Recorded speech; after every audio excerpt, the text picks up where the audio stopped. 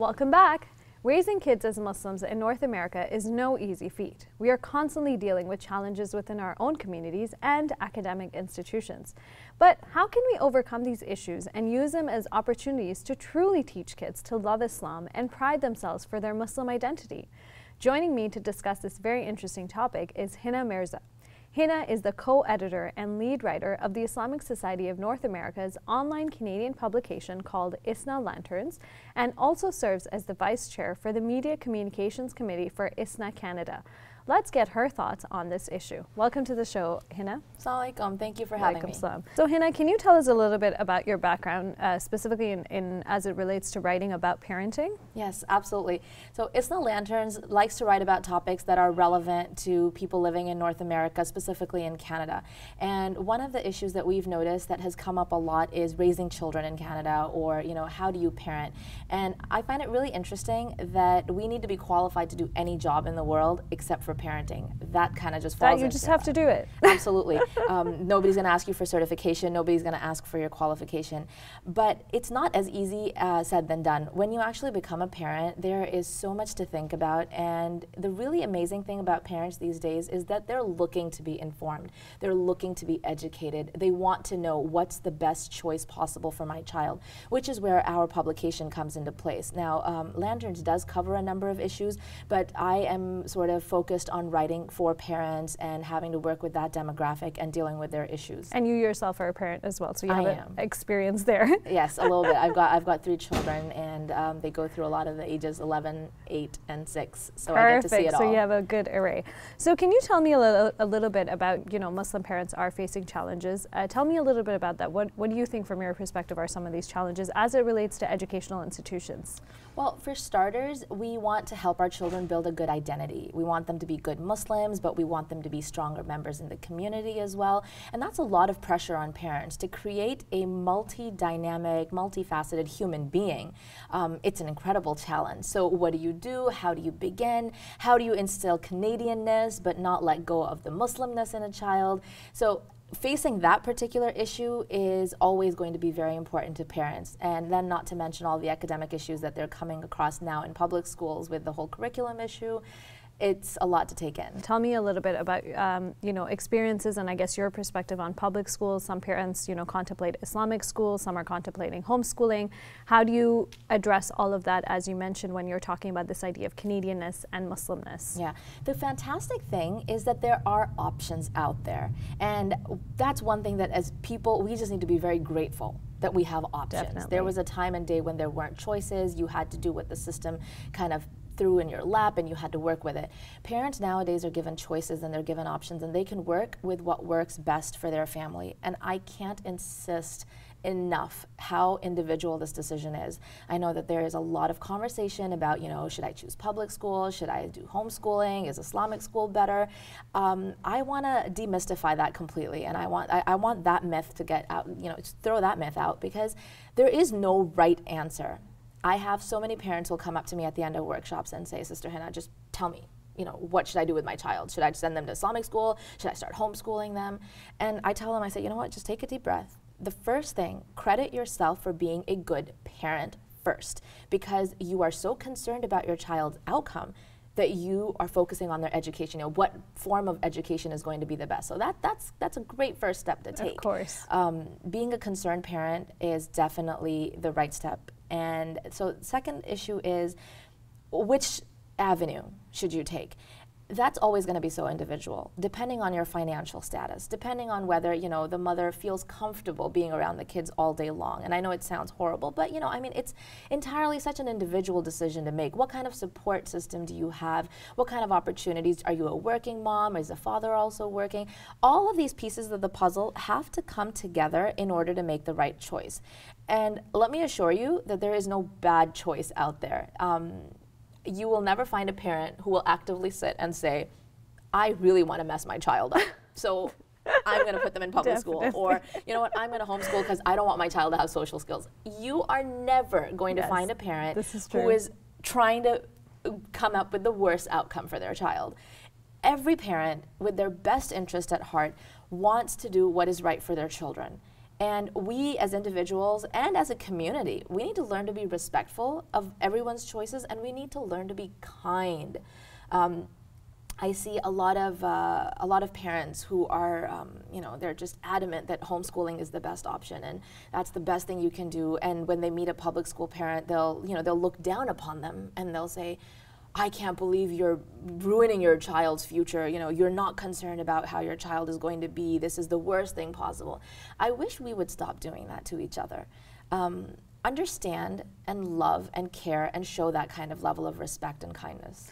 So let's, I know you mentioned a little bit about the topic that's um, on everyone's radar, the sex ed curriculum. Yeah. So tell me a little bit about, um, I guess, your perspectives. In another article that uh, you wrote about public schools, you said that, you know, th the ways that we can teach children um, to really become accepting is help them teach that there is a beautiful balance that can be created in North America within the schools. But how are we going to create this balance when parents, especially with the sex ed curriculum, are, are they themselves are not feeling the balance? So what's your Okay. And that's a very loaded question, but go for it. Of, there are a lot of pieces to that question. Hopefully, I'll get them all. So, I'm going to tell you what I tell all my parents every time I do a workshop. Um, I tell them that this new curriculum is a blessing in disguise. And alhamdulillah, thank you, God, for having sending us this curriculum because Muslim parents, um, and I'm not trying to stereotype here, I'm just generalizing a statement, it's not about everybody. A lot of Muslim parents were never involved in their child's education. They would ship their children off to school and they have nothing to do with what's happening for that eight hours while the kids are outside of the house. This curriculum has literally taken a gigantic spotlight and put it on their child's education, and that's fantastic. For the first time, you're going to see Muslim moms concerned about what are they reading to my child at school? You're going to have fathers saying, who's my child's teacher? What are they learning? What are the discussion topics? You know, I mean, all of these conversations are happening. Now, uh, we all know that the curriculum and the health phys ed curriculum has always existed there has been some elements of it that have always been present. That's nothing has changed. That's not new. What's new is the new dimensions that they've added to it. Maybe perhaps even opened up the conversation a little bit. Now, um, again, you know, I'm going to try to make sure that I get everything because that, that question was quite loaded with all information. Um, one of the things is that children living in North America or anywhere actually are going to be exposed to information. Yes. You have to accept that. You have to understand it. The question is, when are they going to be exposed? Now, um, you know, perhaps maybe if you put your child in public school, that information comes to them sooner. If you're homeschooling, you're delaying the process of that information. So as a parent, I want to encourage everybody, don't worry about what information they're going to come across. Worry about when they come across it, what are they going to do with it? We have to teach our children to have appropriate responses. And you know, Islam has a wonderful way of creating those positive, appropriate responses wherever and whenever they come across them.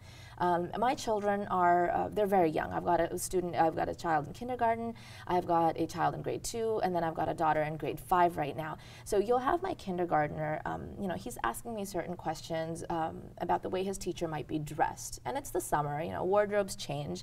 And he's five well, he was five at the time. And I would tell him, I would say, it doesn't matter what the other person is doing. What are you doing in response to what they are doing? Focus on that. Focus on yourself.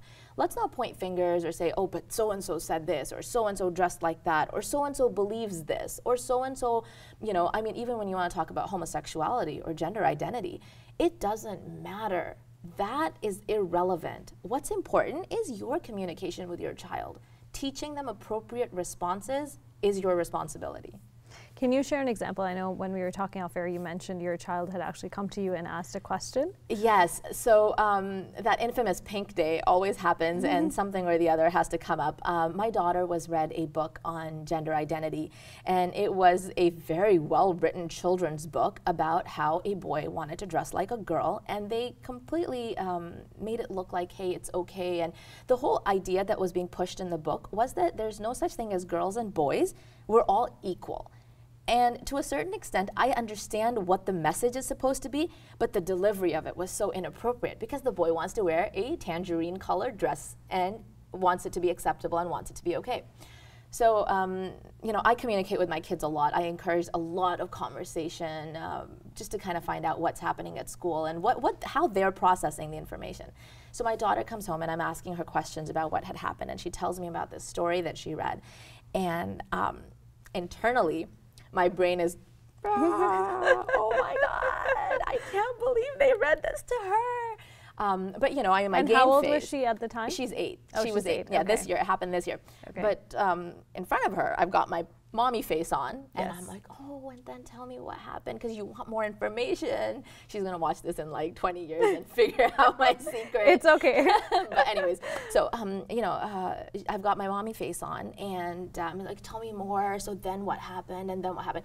Bottom line is, the entire story was about gender equality, and there's no such thing as boy stuff and girl stuff. Um, we had that conversation.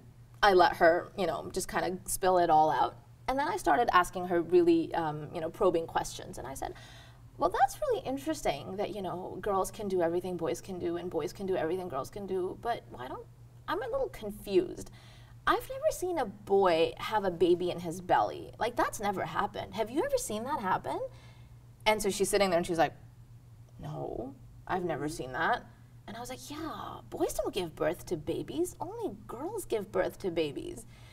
I let that idea sit in her head for a bit, and she's thinking, she's like, "Oh my God, that's right. Boys Yeah. can't have babies." Okay. And then I said to her, I said, "You know, another thing I was thinking was, boys can't feed babies from their bodies." Um, you know, I mean, I know some parents might find these questions inappropriate, but my children, I, I make sure that these, Yeah. you know, they understand. They know the truth of where things are happening. As long as it's appropriately delivered, they know the truth. So I said to her, I said, you know, um, boys don't feed their babies from their bodies. Only mommies can feed their babies. That's interesting. It's you just told me that girls can do everything boys can do, and boys can do everything girls can do. I don't think that's true. Do you think that's true? And all of a sudden, it was like a light bulb went off in her head, and she's like, You're right, mom. It's not possible. And so once I had solidified that basic ground rule, like, you know, your idea of girls and boys are equal is not correct, then I went into phase two and I said, Well, you tell me something. You know, I mean, I'm just curious to know what your thoughts are about this. That if there was a lot of snow on the driveway and we needed to shovel it, and we've got a huge driveway, I was like, If we needed to shovel it, who's the better person for that job? And so she, you know, it took her like a split second. She's like, Dad. And I was like, Why? And she's like, Because he's stronger. And I said, Yeah, you're right. I wouldn't want to shovel the whole driveway. I think your dad definitely is the better person for the job. And then I said to her that, you know, you know, on days where you're sick and you've got tummy aches and you want to stay home from school, who would you rather have stay home with you? Would you rather have daddy stay home or would you have rather have mommy stay home? And she's like, of course, I want mommy to stay home because you give me good hugs and you take care of me. And, you know, I mean, I don't want to step on anyone's toes when it comes to feminism because I know this is a big issue. And Islam is a religion that really promotes, you know, I'm not going to say gender equality, that's incorrect. But every gender having their own place in this Yes. world. And that's something that I want parents to start teaching their children. Even as a society, and I'm not talking about Muslims or non Muslims, I'm talking about as a society, we need to understand that there's some things that guys are great at doing and some things that women are great at doing. We're not trying to compete with one another. We're trying to learn to appreciate one another and let each other live in our spaces so that we can grow. yes, yes. grow as a society. That's where positiveness is going to come in. So, you know, I mean, parents across the way, teach your children you don't have to be equal. You can do stuff that other you you know as long as it comes to playing sports, as long as it comes to you know learning and academics and anything else, what have you. Teach your children that they can progress in a similar fashion, but understanding that they have their own space in life. Girls versus boys. Let's not try to blend the two because they weren't meant to and be the same. compete because you're not going to get No, anywhere. you're not going to compete. I mean, you know, I tell my son, you have to learn to respect your sisters. Your sisters have a specific role that they are going to be fulfilling in our home, and you have to respect it. Similarly, I tell my daughters the same thing about my son. He has a specific role that he is fulfilling in our family, and we have to learn to love him and respect that role. Don't, don't, don't try to do that. Don't try to say that I want to do what he's doing because he's a boy. No. That that that's confusing and will remain confusing and I think that as we've seen in the world today, once we open up those doors, there, there's it's hard then to define the lines and say, okay, well, you know, I'm a woman, I want respect, but I want to be treated with kindness. So that's you know, then you go to a whole other Yeah. conversation. This was definitely very interesting. Thank you very much, Hina. You're welcome.